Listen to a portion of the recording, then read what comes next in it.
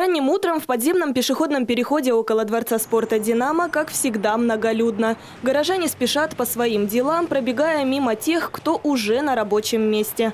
Специалисты тем временем замешивают состав и готовят пол, чтобы уложить здесь новенькую плитку взамен испорченной. Всего в Краснодаре 18 подземок, больше половины из них уже привели в порядок. Был у нас сделан пять лет назад полностью капитальный ремонт. Почти все пешеходные переходы были преобразованы, были входные группы сделаны, галереи были сделаны. Я считаю, что это должна быть работа у нас на постоянной основе, чтобы мы не дожидались там периода времени, когда здесь все потрескается, плитка поваливается, невозможно будет передвигаться, а уже непосредственно поддерживать это техническое состояние в ежегодном формате. В этом переходе уже починили освещение и проверили видеокамеры. Замена поврежденной плитки – финальный этап. Евгений Первышов также поручил обследовать систему водоотведения и улучшить ее функционирование. В этом году разные виды работ проведут во всех подземках города. Где нужно, заменят перегоревшие лампочки, подлатают покрытие стен, пола, ступенек, очистят поверхности от рисунков и наляпанных объявлений. И уже в октябре они будут радовать жителей опрятным внешним видом. А этот пешеходный переход около Екатерининского зала настолько нравится жителям, что некоторые из них решили украсить его на свой вкус. Только пару недель назад здесь навели порядок. И посмотрите, стены снова пестрят граффити.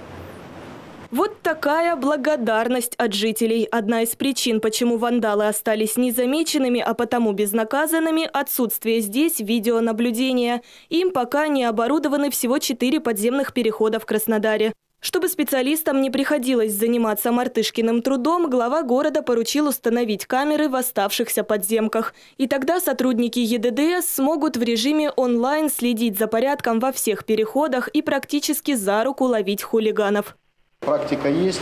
Уже вандалов э, и граффитистов, которые в неположенных, неустановленных местах у нас э, разрисовывают стены, вред наносят.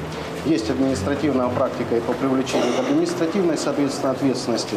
Поэтому заявку подавайте, поставим видеонаблюдение. Ну и, конечно же, нужно менять отношения. И люди-то видят. Движение людей достаточно большое здесь проходит. Разрисовывают стены. Я так понимаю, что никто не делает ни замечания, ничего. Ну, приятно, что ли, находиться в таких условиях.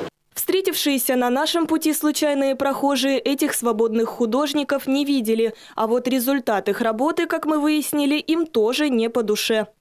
Вот эти росписи нет, это ужасно что-то. Нет, я думаю, что это никому в городе не нравится. Изрисованные, может быть, и красиво, но просто исписанные тем, что в голову пришло, и непонятная символика, это не очень.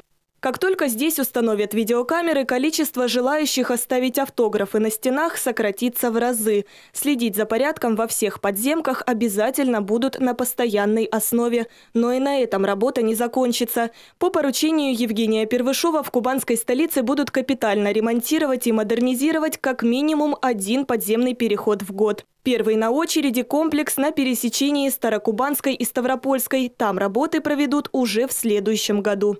Анастасия Федотова, Алексей Попов, Юлия Дейнега, телекомпания «Краснодар».